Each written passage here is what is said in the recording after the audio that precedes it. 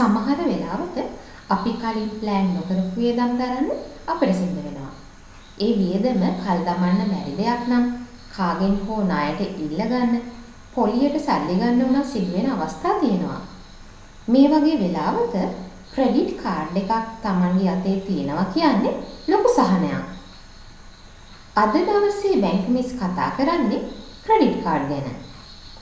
බැංකු miss YouTube channel එක subscribe කරලම අපිත් එක්ක එකතු වෙලා ඔයාගේ දැනුම වැඩි කරගන්න එන්න කියලා ආරාධනා කරනවා. අවුරුදු 18ට වැඩි මාසික ශුද්ධ ආදායම රුපියල් 15000ට වැඩි ඕනම කෙනෙකුට ක්‍රෙඩිට් කාඩ් එකක් ඉල්ලුම් කරන්න පුළුවන්. මුලින්ම ඔයා ගණදුන කරන බැංකුවේ බ්‍රාන්ච් මැනේජර් හරි ක්‍රෙඩිට් ඔෆිසර් හරි හමු වෙලා ක්‍රෙඩිට් කාඩ් ඇප්ලිකේෂන් එක ඉල්ල ගන්න ඕන.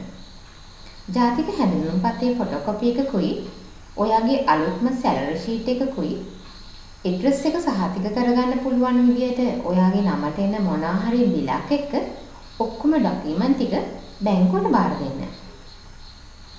ඔයා ස්වයං රැකියාවක් කරනවා නම් සැලරි ෂීට් වෙනුවට බිස්නස් එකේ ලියාපදිංචි සහතිකය, ටැක්ස් රිසිට් වගේ අමතර ලියකියවිලි කිහිපයක් දෙන්න වෙනවා. ඔයාගේ නමට මුදල් තැන්පතුවක් හෝ ස්ථාවර තැන්පතුවක් තියෙනවා නම් ඒක ඇප් එක තියලා ක්‍රෙඩිට් කාඩ් එකක් ගන්න පුළුවන්.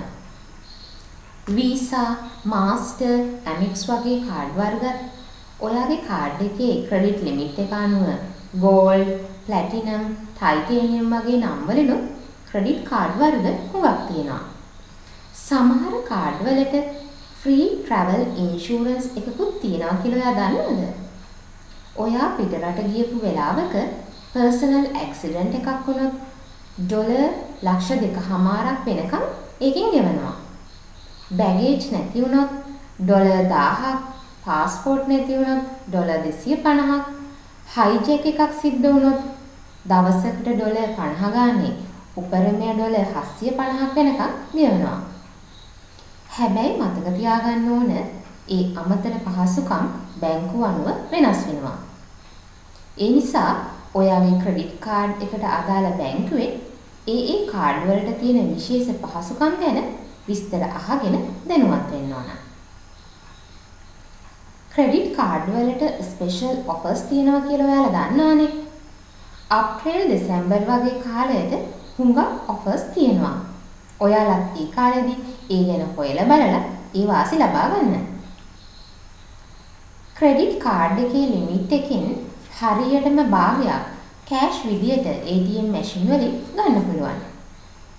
මේ අවුරුද්දේ මුල ක්‍රෙඩිට් කාඩ් වලට අවුරුද්දක පොලිය 127ක් 35ක් අතර වගේ තිබුණත් COVID-19 නිසා ක්‍රෙඩිට් කාඩ් වලට අය කරන පොලිය 118ක් වෙනකම් අඩු කරලා තියෙන්නේ.